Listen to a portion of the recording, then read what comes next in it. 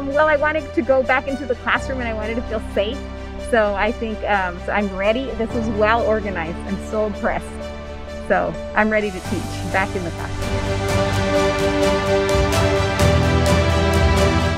Um, I would say not to be worried. Um, it didn't hurt. Um, uh, I feel confident. I like that everybody's watching us for 15 minutes. So I would encourage everybody to get it.